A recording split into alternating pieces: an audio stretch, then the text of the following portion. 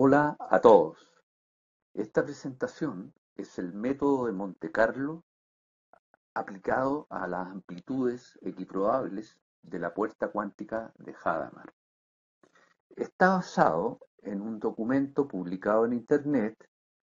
Aquí adiciono el código QR con su correspondiente link para que ustedes puedan complementar esta presentación, que es una síntesis de ese documento.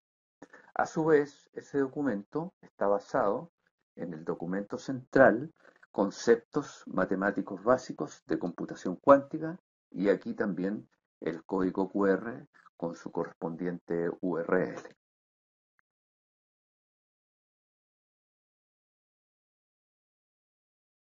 Entonces, los textos y temas extraídos del documento Conceptos Matemáticos Básicos de Computación Cuántica están hechos a fin de estimar probabilísticamente la amplitud de probabilidad o coeficiente de la puerta cuántica de Hadamard.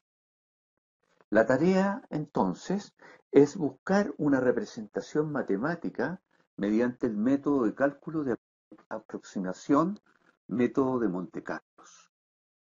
Antes se especificará que el primer postulado de la teoría cuántica señala que todo estado de un sistema físico está relacionado con el principio de superposición. Se repasará el concepto asociado a un qubit, que, todo, que ya vimos que corresponde a un sistema físico que tiene dos estados ortogonales. Las combinaciones lineales con un simulador eh, aleatorio que genera amplitudes de probabilidad, también lo veremos, las propiedades de la transformación unitaria de Hadamard, vamos a finalizar con un modelo de simulación interactivo con el método de Monte Carlos para estimar el coeficiente equiprobable de los vectores de la base de Hadamard. Es decir, vamos a ir haciendo mediciones, ensayos, y vamos a mirar y observar cómo nos aproximamos a ese tan simple y fascinante coeficiente, eh, esa puerta cuántica equiprobable de Hadamard.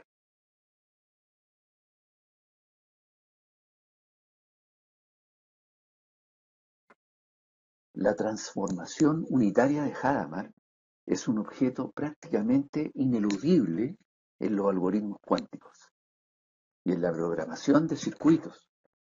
En efecto, al aplicar el operador Hadamard, produce que un qubit pase de un estado básico, sea 0, el vector 0 o el vector 1, a un estado de superposición equiprobable de ambos estados. Recuerden que un qubit corresponde a un sistema físico que tiene dos estados ortogonales, que notamos de acuerdo a la notación de Dirac con los estados, como ustedes ven acá, 0 y 1.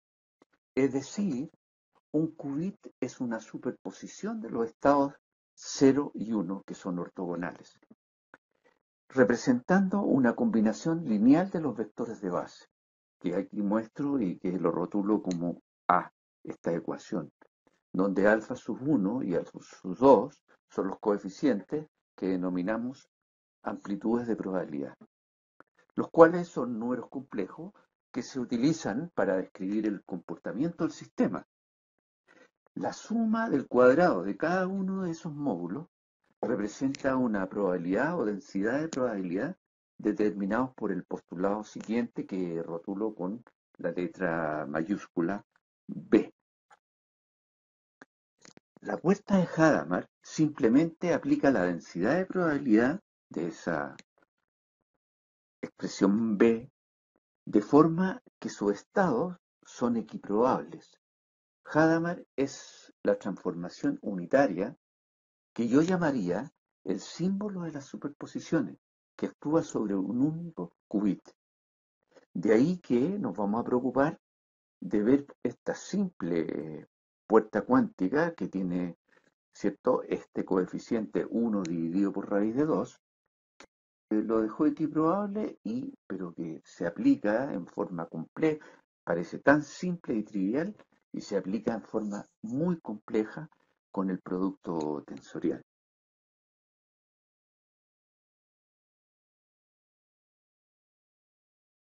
Como ustedes ven, aquí tenemos un simulador que va haciendo cálculos de amplitudes de probabilidad alfa sub i y se van generando dinámicamente en forma aleatoria, de tal modo que la suma de estos de estas amplitudes, la norma de la, al cuadrado de esta amplitud de la suma eh, sea igual a 1. Este ket se muestra aquí más abajo en el mismo simulador. Se va mostrando tanto el ket con sus coeficientes como este postulado de, de la densidad de probabilidad. ¿Cuál es la razón que estamos mostrando esto? Bueno, acá se están haciendo mediciones en forma consecutiva, eh, múltiples, y van cumpliendo con estos dos. Esto, este, cuando se hacen estas mediciones y hacemos esta separación de los valores aleatorios que sean menores que un medio y mayores que un medio, nos vamos, vamos a ver que la distribución, en la medida que el número de ensayos es mayor, tiende en el límite a el valor 1 eh, dividido en raíz de 2 o un medio en caso de que estemos viéndolo en sus normas al cuadrado.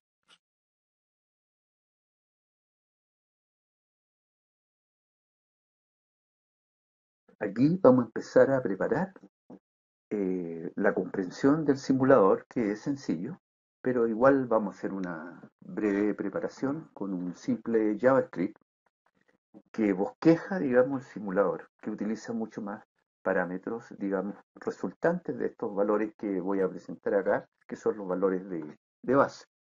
Entonces este JavaScript recibe un parámetro ntest, que es el número de mediciones, de ensayos que vamos a realizar. Se definen dos contadores, n1 y n2. n1 va a representar los valores aleatorios menores que un medio y n2 los mayores que un medio en intervalos abiertos sabemos que los valores aleatorios que vamos a definir dentro de este loop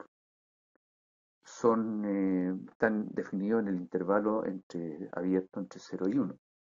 Definimos entonces un medio eh, que va a ser las áreas que dividen el cuadrado, que mostraremos posteriormente. Este cuadrado de lado 1, entonces tenemos un área superior y un área inferior. N1 cuenta los de abajo y N2 los de arriba. Nótese que mm, este número de, test, mientras más grande sea, el parámetro un medio, digamos un medio, que está al cuadrado acá, va a tender a ese valor, o al revés, este valor va a tender, este es el estimador. A su vez, si sacamos la raíz de, de este, nos va a dar la amplitud de probabilidad que va a tender a 1 dividido por raíz de 2. Eso es lo que hace este loop. Si vemos, eh, en la medida que van saliendo valores aleatorios, van a ir cayendo, van a ir haciendo hit dentro de ese cuadrado divididos por la diagonal, cuyas áreas es un medio cada uno, lado que es un cuadrado de lado 1. Previo a ejecutar el simulador de Monte Carlo para aproximar el coeficiente de la puerta cuántica de Hadamard, vamos a describir los parámetros en una imagen estática y para tener una comprensión para que cuando ejecutemos no tengamos que estarlo explicando. Entonces tenemos, empezamos por el número de test que estoy señalando acá, de 10 millones. Posteriormente voy a elegir, eh, tal como lo anuncié, 30 millones y 60 millones de ensayos. En la siguiente variable, el contador N1, son todos aquellos hits o aquellos eh, random que caen debajo menos, menores que un medio.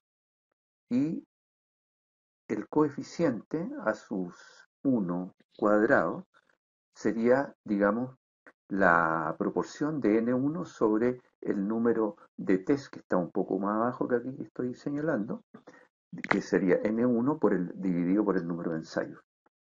Y esa proporción es la que nosotros le asignamos al estimador a su 1. Asimismo, N2, que cuenta todos los valores mayores que 0,5, un intervalo abierto, y este, el número de, hits, el número de, de, éxitos que tuvo, que cayeron en el área superior, y el estimador, que es la proporción de n sub 2 dividido por el número de, de hits que obtuvimos ahí. Y estos son los valores. Nótese que estos valores van a tender a un medio mientras más grande sea el número de ensayos, el test, que le pasamos al, a la interfaz o al, al programa. Más abajo vamos a estudiar el error, que sería el valor absoluto del límite, que es 1 dividido por raíz de 2, menos la amplitud de probabilidad estimada a su alfa sub 1. Y lo mismo con alfa sub 2, que ustedes pueden probar, son iguales. Y eso nos da, va a dar un epsilon que tiende a cero. Mientras más grande sea el número de ensayos, más pequeño el error y más nos acercamos al límite, tal como lo mostramos acá. El límite es este valor 0.707106, etcétera, que es 1 dividido por raíz de 2. Bueno, más abajo eh, hay un parámetro que el estimador, el teorema central del límite, lo que hacemos nosotros es comparar que ese valor que ustedes van a ir viendo ahí en el simulador y lo comparamos con nuestro epsilon. En general nuestro epsilon es mucho menor porque el número de tests que hacemos son millones, que lo hacemos con el computador clásico, pero también se puede hacer con el cuántico e imagínense, eh, podemos poner con estos computadores millones de ensayos, que en los años cuando se hizo el método de Monte Carlo, bueno, está muy lejos de poderlo hacer. Bueno, entonces acá, con 10 millones de test de ensayo, nuestros estimadores son los que tengo en un marco rojo, estos dos que estoy mostrando, y más abajo les recuerdo el Hadamard aplicado al vector 0, notación de Dirac, y el vector Hadamard aplicado al vector 1. Para eh, mostrar a continuación el simulador con, lo que, con los valores que anunciamos.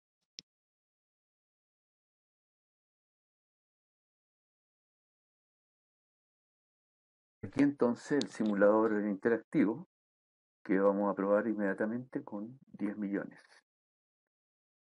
Aquí aparecieron los parámetros que ustedes están viendo. Solo estoy señalando Enseguida ahora vamos a ir con 30 eh, millones.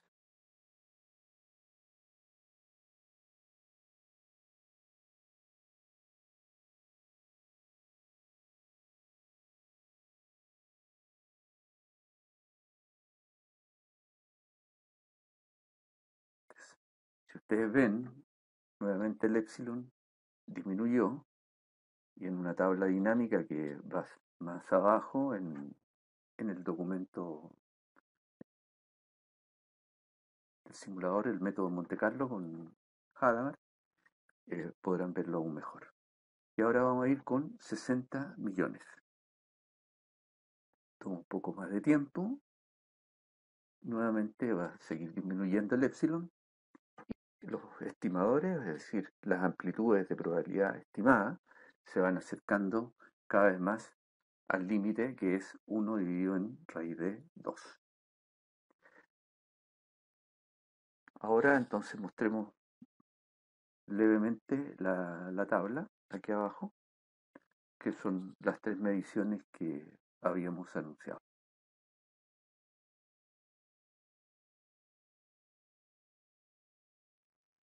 Con esto damos término a esta exposición compacta cuyos orígenes y textos, imágenes, animaciones, fueron extraídas tanto del documento Método de Monte Carlos, Amplitudes Equiprobables, Puerta Cuántica de Hadamard, aquí el QR, que la base de ese documento es el trabajo Conceptos Matemáticos Básicos de Computación Cuántica, que es, digamos, el documento central. Muchas gracias por su atención. Nos vemos en, los próximos videos concernientes a la transformación cuántica de Fourier.